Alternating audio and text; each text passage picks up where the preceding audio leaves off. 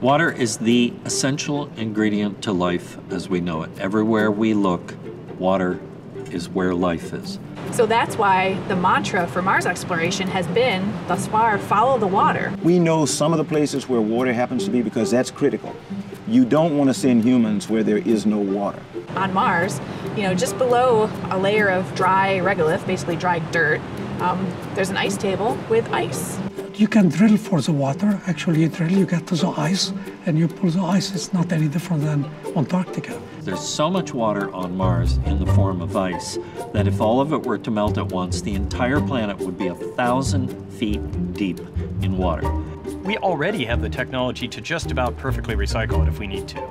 They're going to take that water, clean it up, get all the sewage out of it, and treat it with chemicals and other things, and you'll be drinking it. It's uh, cleaner and safer than your tap water when it's done. It's not just because we're going to melt it and brush our teeth with it, but also because water is made up of hydrogen and oxygen, and those are the two components of rocket fuel.